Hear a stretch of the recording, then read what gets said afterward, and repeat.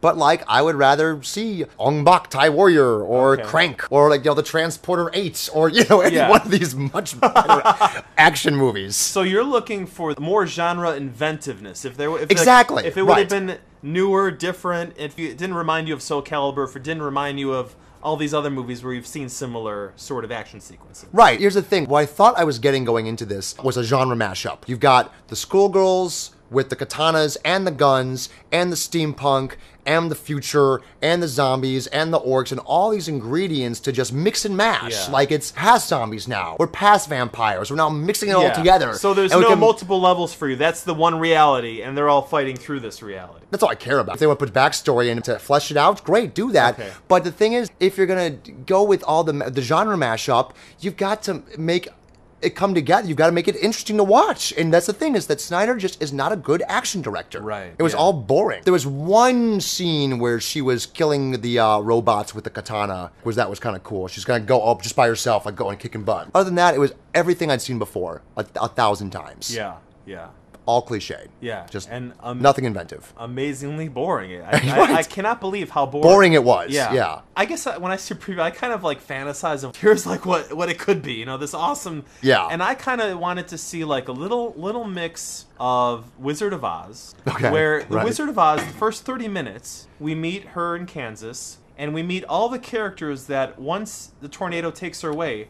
They're gonna now be in a different form Okay, in, in, sure. in the yes. world of Oz. Yes, okay. Now we can add in maybe a little bit of Alice in Wonderland. Now those people from that reality represent her ideas and relationships to those people in reality and now she can work through them. It's almost like that this fantastic reality is like some sort of psychological workshop where you can overcome your neuroses. Which is almost what they promise you because that first scene they come in and she get the stage and she says this is where the girls work through things. Yeah. Yeah, and it's like okay, it kind of seems like that's where Zack Snyder maybe had Just to abandon it. Yeah. Yeah, your version's much better. so uh, but, then, but see, but it's I want to character see your movie. But then it's character based because it's Right. like you start with the character, and now Yeah.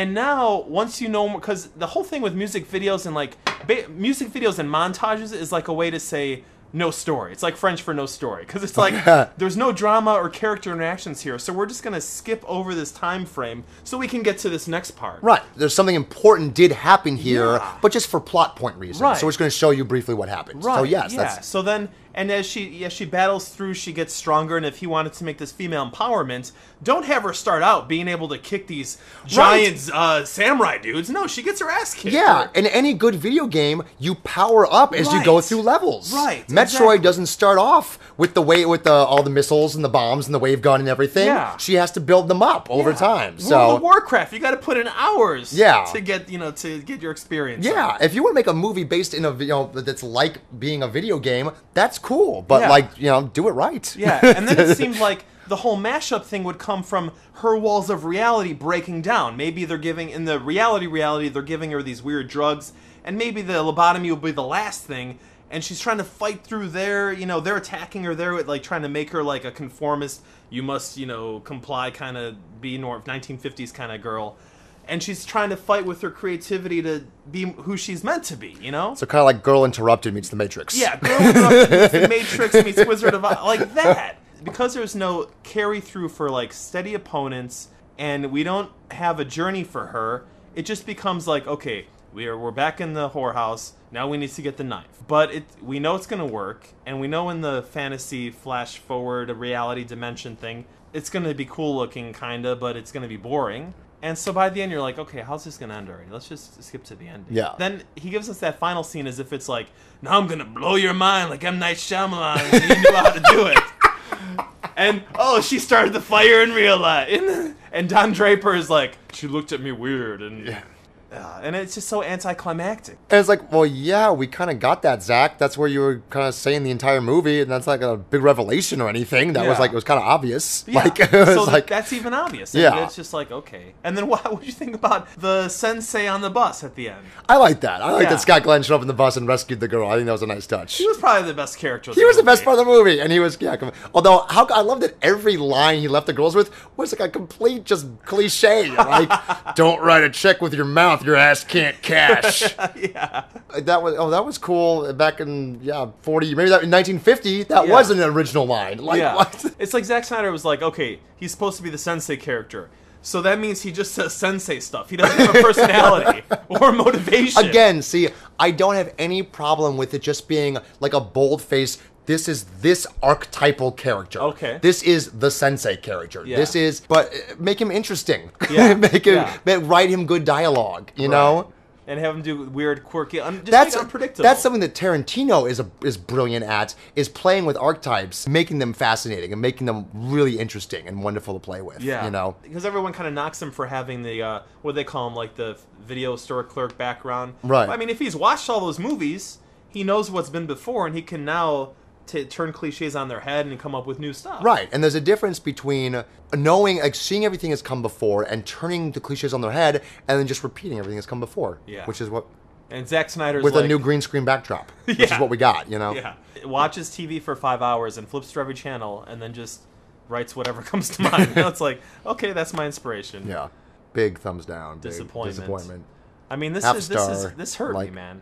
Again, it's the curse of too high expectations. Yeah. At least it was tempered. At least I didn't see it opening weekend. I would think I've been like angry, like, Like visceral, IMAX like, opening like weekend? if yeah, if I paid IMAX tickets, oh, I'd be furious. Like twenty bucks. Yeah. And just like what the hell. Yeah. I would have loved to have seen the audience reaction in a big crowd, but I mean, if we're feeling like bored, everyone was pretty much feeling. Yeah. bored. This was almost like his carte blanche. He kind of like, I can do what I want. Pretty much, yeah. I mean, he wrote it, he directed, he, he had everything. It was this was his baby, and it's. I mean, I am now afraid of what Superman's going to look like. Yeah. I'm not looking forward to this at all.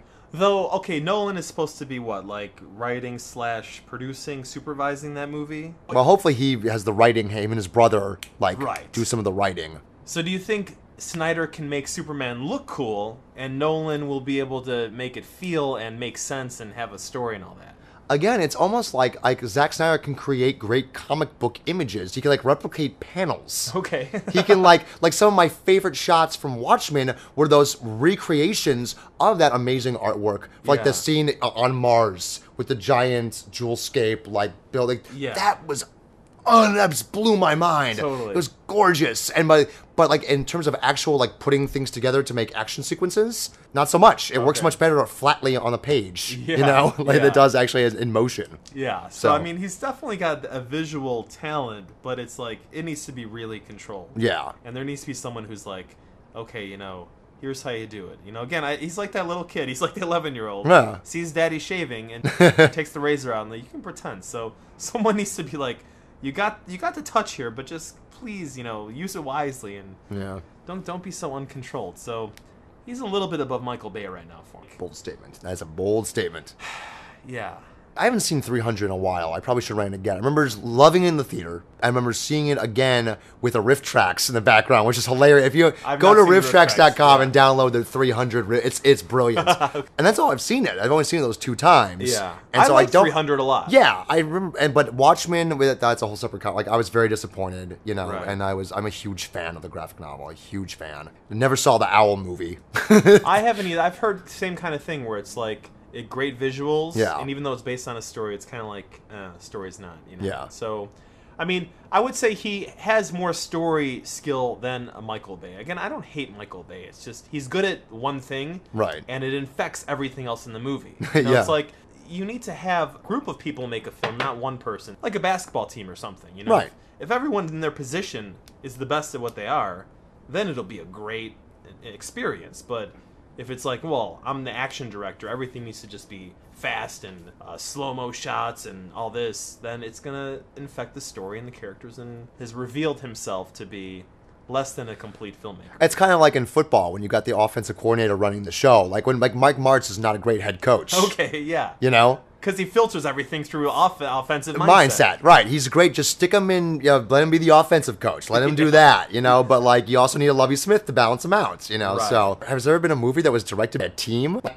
Possible? Like do they do that? like Well- or I mean, the Coens probably do it, but they don't. They one takes credit for Right. this. There's some movies where like definitely the I know the director credits a lot cinematographer. Yeah. So there's that in- involvement. I'm worried here because it's going to be okay, Zack. We gave you freedom. It didn't work out. Yeah. So now you got to make more adaptations, or you got to do this. And again, not that adaptations are horrible. We're both looking forward to Priest. Yeah, very much, very much. Looks good. It's just interesting. You know, you give someone like Nolan carte blanche, you get Inception. I think this was like Zack Snyder's attempt at making Inception, and yeah, it, we just he just showed, like you said, it's like watching dad like playing, trying to play grown up. Yeah. You know. And it's like, no, you're, you know, go back to the dojo and practice wax on, wax off a little more. You can become Miyagi, but you got to put the work in. Yeah. All right, so that sucker punch, we got- screwed, and it's a disappointment. Yep. Hopefully, it doesn't lead to more movie apocalypse uh, behavior. I'm gonna, this has to be movie apocalypse. It's not movie hope. I think it's movie hope actually Okay. because it wasn't an adaptation; it was actually an original creation. Right. And it was inventive. It just wasn't executed well. Yeah. So eh, I think it's in terms of like they, they tried something new.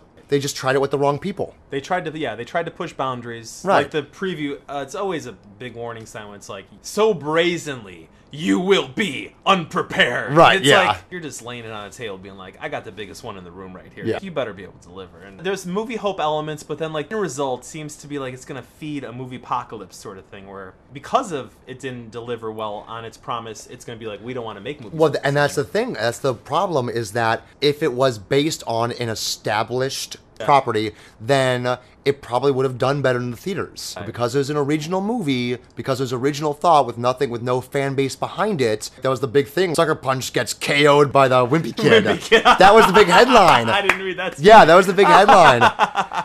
but that's what we talked about with the A Team movie, the Losers. The or- Losers, yeah. Right, which is the exact same thing as A Team, but just it was an original concept. It wasn't an established property, and so no one went to see it. Right. And that's that's the scary part. That's Yeah. that's the that's the scary element of it. Dark Knight made a billion dollars. Inception made like 850, 850 million worldwide. So that's amazingly impressive. Right, for an pretty- original- original idea, even if it's an adaptation, it still has to be made well. If a similar idea would have been an adaptation, he still would have messed it up. No, he still would have messed it up. Yeah, no, no, I'm that's just saying that the way I think the way Hollywood thinks right Yeah, now is that if it had been established property, it probably wouldn't have tanked opening weekend. Right. Because at least with an established property, you've got all the fanboys lining up to see it Right. opening weekend. Yeah, and That's the- regardless of the quality, there's an illusion. Like when we went to see Nightmare on Elm Street. Yeah. We went to see it even though it had gotten horrible reviews because it was Nightmare on Elm Street. And we wanted to see how- what they did with what it. What they did with it. So It's got the built-in the audience. Curiosity factor Right. goes beyond. Oh, it'll be. We know it's gonna be bad, but we're just curious. Yeah. So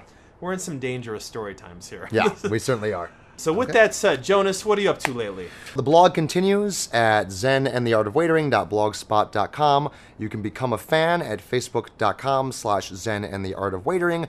And you can buy the book, Zen and the Art of Waitering, at smashwords.com slash book slash view slash 13249. If you don't want to buy the book, download a free sample. Check it out. Just get a taste. Just get a taste. He's like a heroin dealer. Once you get a taste, of my wisdom and my genius, then you'll won't be able to say no. That's why I keep coming back. so all the links are available in the description area of this video. Consider yourselves advised until next time. And remember Hollywood or StoryCorp always gives you more of what you pay for. And as always, Long live good movies.